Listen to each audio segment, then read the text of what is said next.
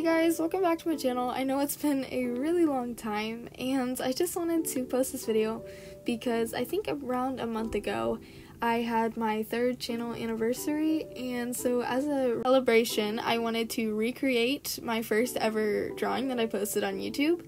I've recreated this once before and here were what the two first ones look like. The first one is on the left and the second one's on the right. And I just wanted to update this and kind of just show how I've improved and I tried to update like my color theory and just my style and everything. Also, I'd like to just talk about some things that have changed over the past month since I haven't posted in quite a long time. The reason why I haven't posted is because I just started school again and I've just been so busy learning everything and just being like getting used to the environment of school again and I've just had so much homework and I've just really not been in the mood to draw and or post but it kind of sucked because I was in this really major art block for quite a while. But I just started drawing again, and I figured it would be nice if I could post a video. We just hit 1.3k, and that's just so amazing. Thank you so much, guys. You're seriously so amazing. And the only reason, like, the reason I do this and I'm motivated to post is because of you guys. You guys are just very nice, and I love the community I'm in. I think one of the major reasons that I've been in such a bad art block is because I just wasn't really in love with my style as much. I kept comparing it to a lot of other people's styles, and that's just not very good. Like, it's almost like on Instagram when you compare your body to someone else's, and that just doesn't make you feel very good. It's like that, but with art styles, and it's a real thing, and it doesn't make you feel great. But one thing that has helped is my art class. Um, if you've seen my community post, I kind of posted some art pictures, but here's some more that I've done in art class. And it's just really helped me realize that I do like art and it feels good to draw. So, another thing when drawing this, I realized the second drawing and first drawing I did really didn't have hands. They really were just like circles, and I really wanted to make a better pose and, like, you know, just add in hands somehow. I don't know if I actually added in hands, but I just made a better pose so it overall looked better. I also tried to make the ponytail look a bit more natural since the hairline on the second drawing was just kind of a flat line and it wasn't very blended out well. I think the reasoning behind this first drawing that I've done, like the reason why I posted this was because I'm a big basketball player and I love basketball, so I drew it and I remember posting it and like all this stuff and my best friend's dad came up to me and he watched it because my best friend showed him. And he's like oh my goodness this is so amazing. You're gonna go places.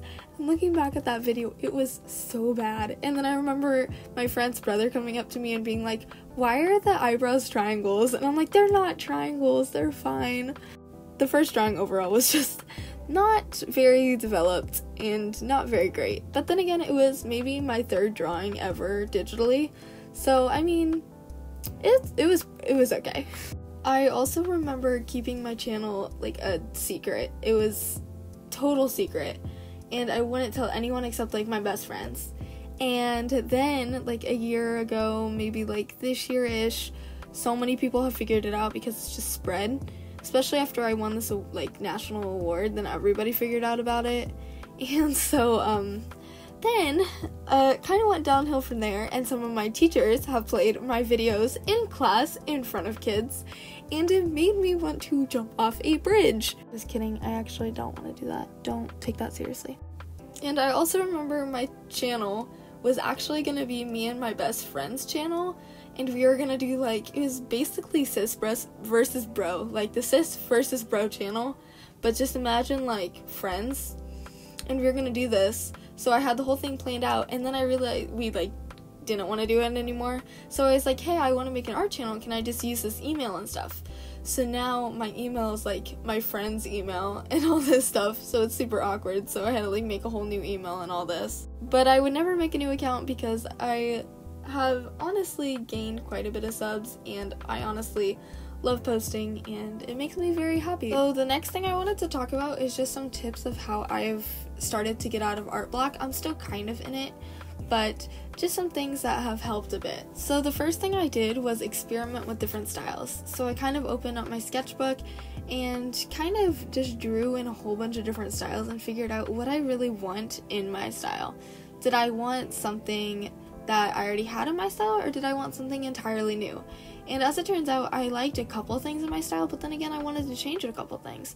So I started to change some things and just keep drawing in different styles until I really figured out what exactly I wanted. So another thing I did, this was the first time I picked up my iPad and drew for like maybe a month. What I did was I found a study like I found a piece of realism and started drawing it because when drawing realism, even if you may not like it, first off it's helpful because it teaches you how to render, it teaches you all this stuff. It's also helpful because it's not stylized. So you don't have to worry like no, I, I don't want it to look like this. I want it to look like something else or somebody could have done this in a different style and I like somebody else's style better. No, it's not like that. Realism is just your like it's just recreating an image. So it just has to look like the image, and you don't have to worry about styles or anything. And overall, it just helped me because I could work on rendering and I could work on some other things. Like it just, it just was really nice. I did two studies, and it was just very nice to do, very relaxing. And then the last thing I did was try to draw just in my style and just try to complete a whole piece. I'm still in the means of this, but I've been liking how it turns out, and I've just been kind of experimenting, trying to get back into why I love art and all of that jazz.